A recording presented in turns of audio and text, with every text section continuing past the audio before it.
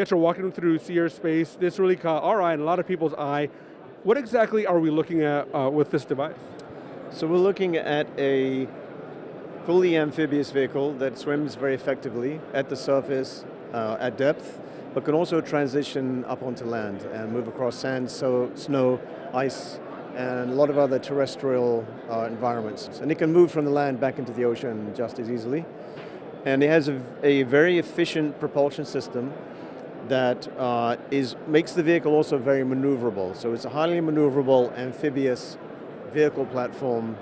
It has stealth characteristics. The, we don't have cavitation and vibration. The fins are very quiet. And it has a super uh, capacity to have a very high uh, efficiency for tow. So its bollard pull is very high, very efficient.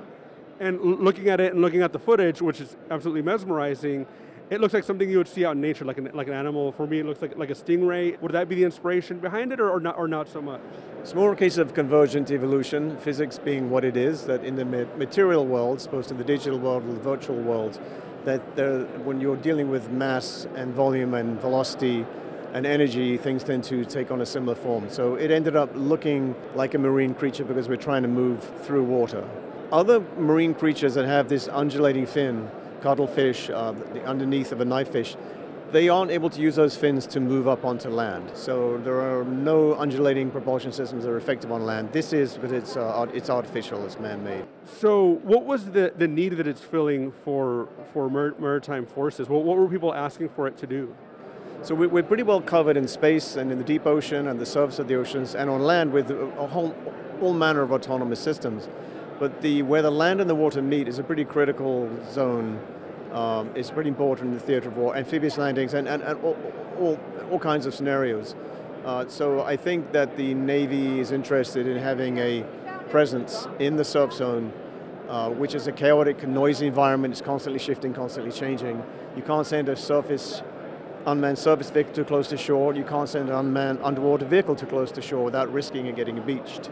There isn't any other platform that is as multi-domain as this and that can move through as many different environments as this, all using one propulsion system. You can have a vehicle with propellers and wheels and everything else, but it's got one system.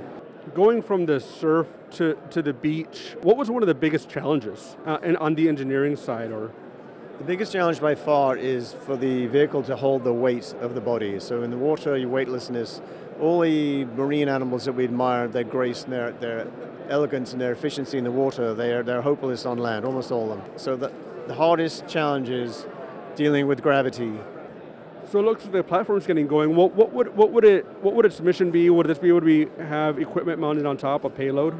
Yeah, it's payload agnostic. At the moment we have cameras front and back, we have lights front and back, Doppler velocity log, measure, uh, IMUs, uh, and it's fully autonomous, it's ready to go, it's a fully developed autonomy that hasn't yet been through its paces. We're collaborating with MIT uh, on autonomy, we use the MOOS-IvP um, and MOOS-IvP Helm autonomy software package. And back here it looks like we have a smaller version of it, to my eye. What, what are we looking at there? So this is a precursor to C-ray. We call this one Velox. Uh, Velox was, the, was, was prototype one.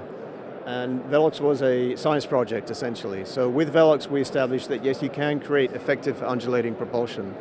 Uh, it is possible, and that it can be a propulsion system that works on land as well as in the water. And with Velox, we also found it to be a very, very efficient ice skating vehicle.